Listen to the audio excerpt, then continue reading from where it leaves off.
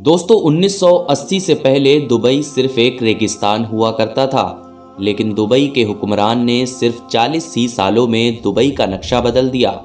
Mohammed bin Rashid Al Maktoum UAE के वो हुक्मरान हैं कि जिन्होंने इतने कम वक्त में दुबई को कामयाबी की इस मंजिल तक पहुँचाया। दुबई पूरी दुनिया में इतना मशहूर हो गया है कि अभी तक कई लोग दुबई को एक देश मानते हैं। लेकिन असल में दुबई कोई देश नहीं, बल्कि यूनाइटेड अरब एमिरेट्स का एक शहर है। वो शहर जो कुछ साल पहले एक बहुत बड़ा रेगिस्तान हुआ करता था। पूरी दुनिया अभी तक दुबई में मौजूद बुर्ज खलीफा को देखने के लिए दुबई जाती है, लेकिन दुबई के हुक्मरान इसको देख देख कर तंग आ चुके थे। इसलिए मोहम्मद बिन रशीद बुर्ज खलीफा से भी ऊँची इमारत तामीर करवा रहे हैं, जिसका नाम है दुबई क्रीक टॉबर जिस दुबई के पास दुनिया की सबसे बड़ी बिल्डिंग होने का रिकॉर्ड है, आज वही दुबई अपना बना हुआ रिकॉर्ड तोड़ने जा रहा है।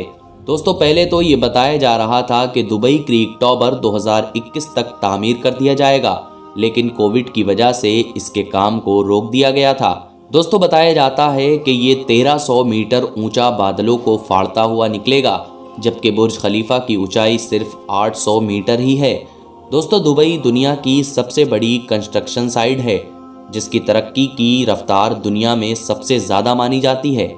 जबकि 1980 तक दुबई एक वीरान रेगिस्तान था, लेकिन उसके बाद दुबई से तेल निकल आया, जिसने दुबई की किस्मत ही बदल डाली। लेकिन मोहम्मद बिन रशीद एक होशियार हुक्मरान हैं। उन्होंने दुबई को वहाँ से निकलने वाले तेल पर डिपेंड नहीं रखा, बल्कि दुबई का एक ऐसा नक्शा बनाया जो टूरिज़्म और ट्रेडर्स को अट्रैक्ट करने लगा। और आज दुबई अपने तेल पर सिर्फ़ पाँच प्रतिशत ही डिपेंडेड है, जबकि दुबई की इकोनॉमी का पचानवे प्रतिशत हिस्सा टूरिज़्म और ट्रेड पर डिपेंड करता है। और अब दुबई दुनिया का सबसे बड़ा ट्रेडिंग हब बन चुका है। इसके बावजूद कि दुबई की 15 प्रतिशत आबादी वहाँ के अरब लोग हैं, पचासी प्रतिशत आबादी फॉरनर्स की है। जो वहाँ काम करने जाते हैं। 1990 में दुबई में सिर्फ़ एक ऊँची बिल्डिंग हुआ करती थी जिसका नाम दुबई वर्ल्ड ट्रेड सेंटर है। और आज दुबई में टोटल 917 ऊँची बिल्डिंग्स हैं जो बादलों से बातें करती हैं। अब अगर बात करें दुबई की पुलिस और उनकी कार्स की तो दुबई की पुलिस कोई छोटी मोटी गाड़ियाँ इस्तेमाल नहीं करती।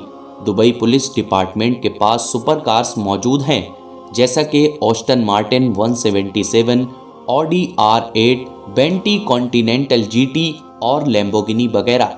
अगर मॉल्स की बात की जाए तो दुबई मॉल दुनिया का सबसे बड़ा शॉपिंग मॉल है, जिसमें टोटल 1200 शॉप्स मौजूद हैं। इसके अलावा पाम जुमेरा इंसानों का बनाया हुआ सबसे बड़ा आइलैंड है, जो दुबई में मौजूद है।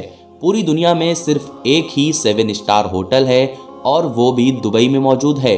जिसको पूरी दुनिया बुर्ज अल अरब के नाम से जानती है। मोहम्मद बिन रशीद चाहते थे कि दुबई में डिज्नीलैंड भी हो, जो अमेरिका में मौजूद डिज्नीलैंड से भी बड़ा हो।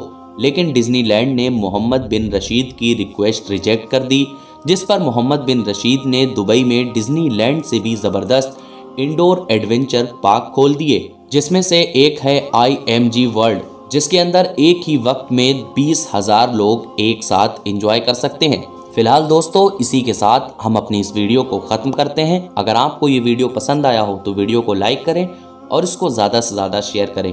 और इसी तरह की वीडियोस देखने के लिए हमारे इस चैनल को सब्सक्राइब करें।